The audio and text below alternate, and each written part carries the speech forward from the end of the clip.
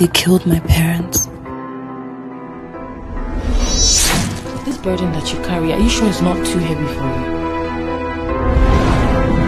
I see everything. The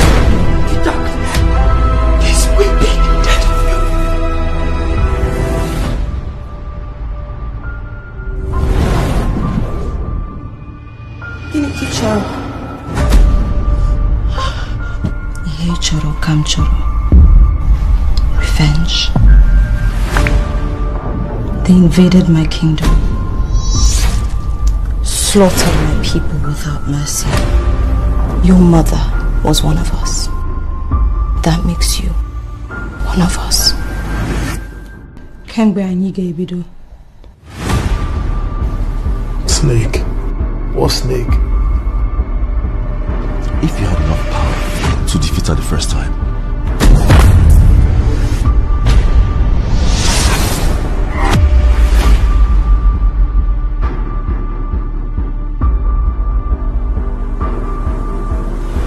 Who are you?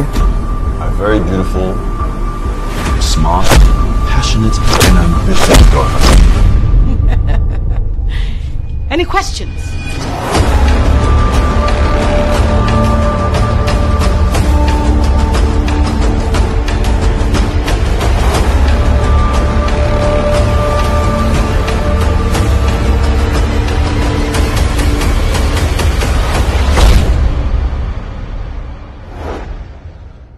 Lemaya.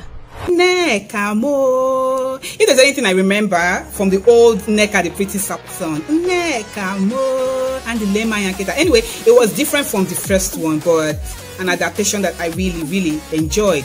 I have still not seen the first Nneka the Pretty Serpent. Like I keep saying in all these new adaptations, this new improvements, this new remake of all this living in bondage, rattlesnake. Okay, they've not done Circle of Doom. I know they will do Circle of Doom. But anyway, welcome to another amazing time with me. My name is Chacha Wabara. If you haven't subscribed, do hit on the subscribe button, turn up your post notifications so that you'll be alerted when new videos come up. Thank you so much for joining me today. We'll be reviewing the movie Nneka the Pretty Serpent. It's a 2020 Nigerian movie starring notable actors and actresses like Dia Essien, Ndidi Obi, Shafi Bello, Bimbo Ademoye, Chioma Akota, Kenneth Okole, Beverly Naya, Chima Okafor, Kepi Epe Yombasi, Zach Oji, Bovi Uboma, Beverly Osu, Waje, and Laroy Gaja. Okay, now this movie has to do with a girl who witnessed the death of her parents and um, grew up always sad, always lonely. This movie was directed by Tosin Igho and a lot of two hours, 20 of assignment that they gave to me.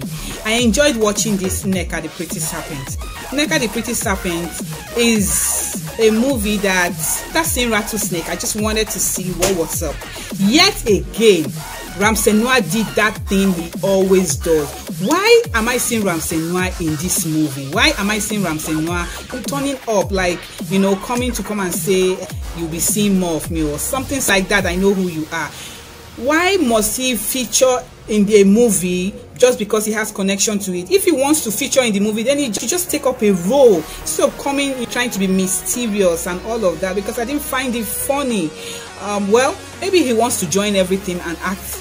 Maybe he wants to come up with that wretched or circle of doom. I don't know, but let's see what he's going to come up with because that character Richard keeps on popping up in various movies that he's featuring in these days. Even you will see him in Slay, and his name is Richard Day. I don't he has a thing for Richard, but anyhow, anyhow, Richard that never dies. Okay, Richard that knows everything. All right, Richard that is not human. Wonderful.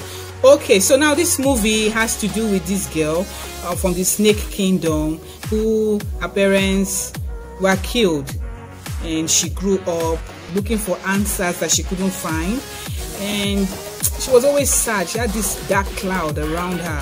Her friend was Bimbo Ademoye. The thing that struck me was that you know the movie was Igbo. I don't know how to explain it. A movie that you see both Igbo and and English, you know, used. So we keep on saying uh, like when I was going to be like, okay, um, she's speaking Igbo. That means you're combining Igbo and English together. Okay, moving forward. Now this she grew up and she was working as a waitress in uh, a restaurant and um, she didn't really have a good experience there. But her friend Kenneth Okolie would always come and see her. Really friend, friend, friend. But Kenneth Okolie was, you know, working, good background and all of that. Now the movie is scattered. What I did not understand at some point was when she was going to work with Bimbo Ademoye and she says she saw her mother. She gets down from the bus and starts to walk. Now walks into this uncompleted building and there and then she now sees this lady who is supposedly crazy. Or what what what what what? Now takes her and starts to touch her palm and says go i can see revenge and evil and blah blah blah. You will not be able to tear yourself from me what?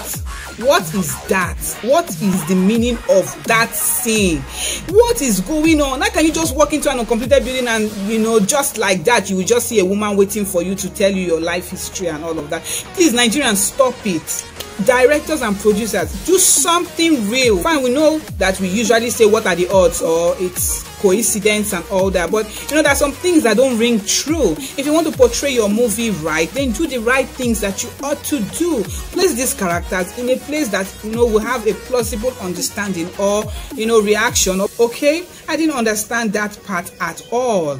And then the movie progresses. I don't have any problem with it. Some of the scenes were a bit too dark for me to see so i couldn't really connect with those scenes that much. But it was a good watch. I liked how she started picking them off one by one and killing them and you know the correlation. Now i don't understand chioma akpotha's role here fine she was one of the snake people and blah blah blah blah blah. But it's hot and cold nothing no form no name and at the end of the day back to square one it just annoyed me. I was put off by it. But the role the place the people that kept me watching or the person that kept me watching was actually Kenneth Okolie because Kenneth Okolie brought out the brilliance of the Nneka character without Kenneth Okole, I wouldn't even be watching the main character, Dia Essien. Because Dia Essien, number one, when you pick up a role, your role is like you're an Igbo girl and there's some sort of Igbo to be spoken. Learn the Igbo. Learn that language. Learn the things that you're supposed to. The accent of Bimbo Ademoye was even better than the, the main lead. And she's not even Igbo to start with. So why couldn't she have mastered that Igbo speaking properly so that no one would even sense that she's not a native? That's what makes movies brilliant. That the brilliance of the actors or the actresses. Imagine Bimbo Ademoye speaking better Igbo than the main female lead. I didn't get. I didn't get at all. The character of Shafi Bello was awesome. The character of Kepi Epeyon, wonderful. The character of Zach Orji, it's been a while I saw Zach Orji in a movie, me. Anyway, I enjoyed his character. It was amazing. In Didiobi, ah, fine. You know, I liked how Ramsey Noah tried to retain some of the old actors from the former Nneka the Pretty Serpent. He always does that and it's really nice of him. He tries to couch it in such a way as to make it, you know, a remake. So it was wonderful. It was nice. I love the shooting, the effects, the um, camera positioning and all of that. It was nice. It was good. It was great. Um, Bovi, I don't understand him, but he did great in the movie. Yeah and then I liked how the movie ended. The movie ended in a wonderful way. It would have been much better if I did not see Ramsey in the movie at all, leaving that unanswered question. Okay, which brings me to the end of this movie. I'm going to be rating this movie 7 over 10. Up there, you see my Korean movie reviews, my Nigerian movie reviews, my Chinese movie reviews. Thank you so much for watching. Don't forget to subscribe. I'll see you next time. Thank you so much for watching.